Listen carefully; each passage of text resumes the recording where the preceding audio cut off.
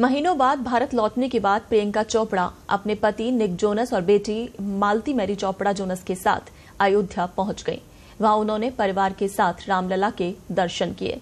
ये 2024 में पहली बार है जब प्रियंका भारत आई हैं। कुछ दिन पहले ही उनके पति निक जोनस भी मुंबई पहुँचे थे। अब ग्लोबल स्टार अपने परिवार के साथ रामलला के दर्शन के लिए पहुँची हैं।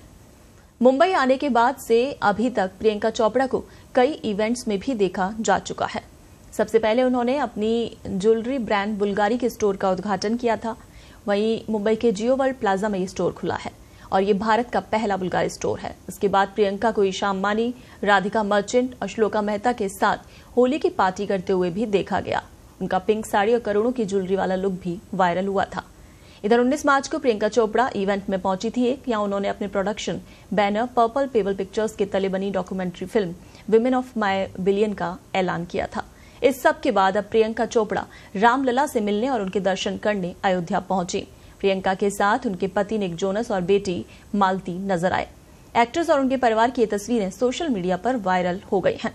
और इन तस्वीरों में प्रियंका चोपड़ा को येलो सूट पहने हुए देखा जा सकता है। उन्होंने अपनी गोद में बेटी मालती को उठाया हुआ है। और ऑरेंज आउटफिट में मालती काफ़ी क्यूट लग रही है। साथ ही व्हाइट कुर्ता पाजामा पहने पति निक जोनस प्रियंका के साथ नज़र आ रहे हैं। एक्ट्रेस को मंदिर के पुजारी से माथे पर तिलक लगवाते हुए भी देखा गया और ये तस्वीरें काफ़ी खूबसूरत नज़र आ रही हैं। प्रियंका चोपड़ा की तस्वीरें सोशल मीडिया पर वायरल हो रही हैं और फैंस उन्हें और उनके परिवार को खूब प्यार भी दे रहे हैं।